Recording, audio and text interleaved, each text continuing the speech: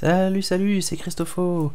On se retrouve aujourd'hui pour un nouveau tuto sur la création de jeux avec Solarus, avec au programme pour ce tuto les personnages non joueurs généralisés.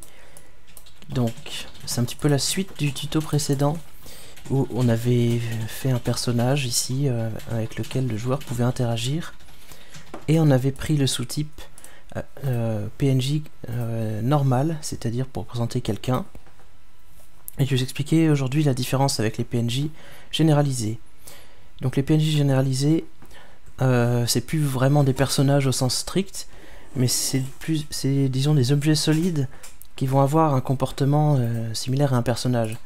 Donc des objets qui parlent, par exemple euh, une pancarte. les personnages donc, que vous mettez en mode quelqu'un, mode PNJ normal, eux ils ont des comportements prédéfini, c'est-à-dire que, par exemple, on avait vu qu'ils regardent le joueur automatiquement lorsque le joueur euh, leur parle. Donc, euh, en gros, ça fait du code en moins à faire. Si vous voulez pas ce genre de comportement automatique, vous mettez PNJ généralisé quelque chose. Alors, on va voir dans un petit exemple. Euh, avec effectivement une pancarte. on va créer un deuxième PNJ avec comme sprite euh, doit être dans entities je pense. En anglais pancarte c'est sign. Donc de type PNJ généralisé parce que cette fois-ci on veut pas euh, qu'il ait les, comportements euh, attendus des humains. Et puis on va afficher un dialogue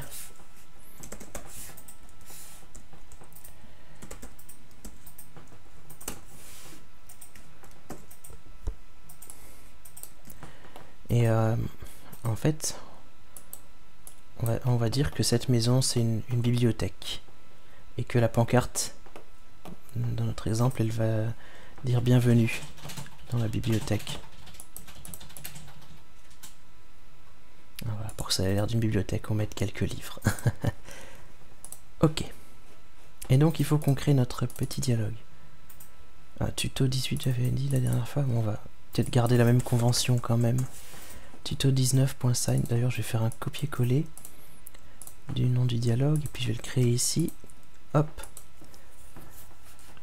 Euh, on va juste dire bibliothèque.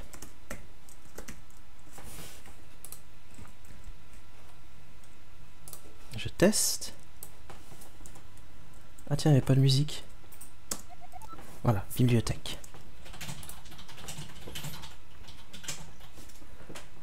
Euh, bon, ça c'était notre personnage du, tuto précédent, on va, pas en avoir besoin.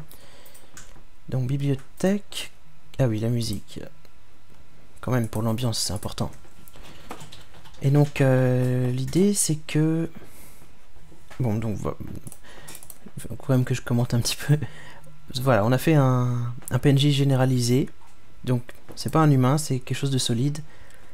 Dont le moteur ne ne fournit aucun code euh, particulier, si ce n'est le fait de pouvoir interagir en appuyant sur la touche action, et on interagit dans la direction qui est marquée ici, direction.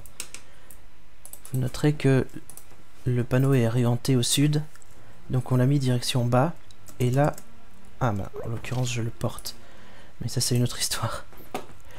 Euh, c'était pas le but. Je voulais juste montrer qu'on peut pas lui, lui parler depuis la droite, le haut ou la gauche. Et euh, alors que le, les personnages humains, eux, leur comportement c'est qu'on peut leur parler de tous les côtés, ce qui est plus normal. Et euh, donc, dans le même genre, vous avez aussi les les pierres qui donnent des indices dans les donjons. Euh, apparemment, je l'ai pas dans le, dans le ressource pack. Faudrait que je l'ajoute, mais bref, c'est la même chose qu'une pancarte. Euh, voilà, voilà. Et puis on va faire un deuxième petit exemple. On va dire qu'on a un comptoir dans notre bibliothèque. Qui est en fait la, la réception, si vous voulez, l'accueil. Et on va mettre un autre personnage. Donc celui-là, ça va être un humain. NPC, alors...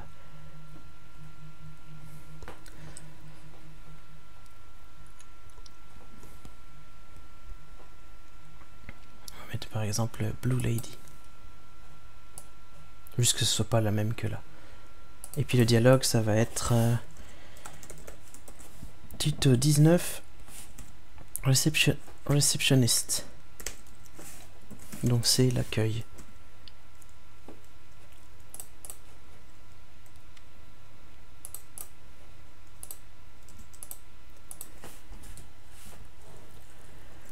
Euh, Puis-je vous renseigner?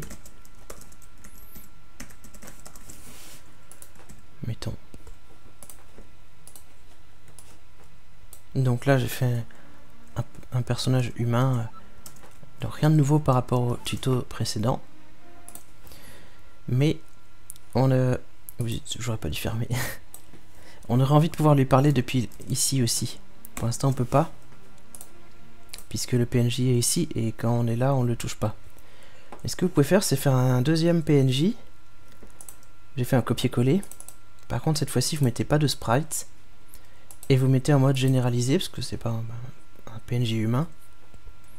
Et en fait, l'idée c'est que vous allez afficher le même dialogue. Donc, ok. Comme il n'y a pas de sprite, l'éditeur affiche cette icône euh, générique.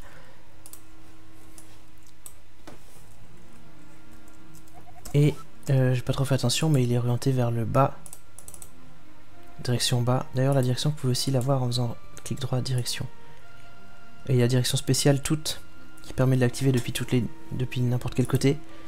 Mais là en l'occurrence ça change rien puisque les, autres côtés ne sont pas accessibles.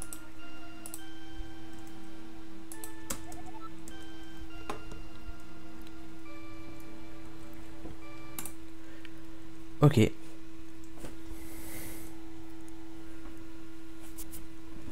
Euh, que dire? Je pense que c'est à peu près tout sur les, les PNJ généralisés. Euh, on verra dans le prochain épisode que lorsque vous faites que lorsque vous déplacez un PNJ, il prend automatiquement euh, les animations appropriées quand c'est un humain. Donc encore une fois, il va y avoir des choses automatiques qui se produisent pour euh, vous aider dans le cas le, très courant des PNJ humains. et, et ça, encore une fois, c'est quelque chose qui se produit pas avec les PNJ généralisés. Euh, voilà, bah, c'était un petit tuto assez court, mais c'est important de, donner des exemples sur les, deux sortes de PNJ. Euh, voilà, j'espère que vous avez appris quelque chose, et on se retrouve bientôt pour le prochain tuto qui sera sur les mouvements. Salut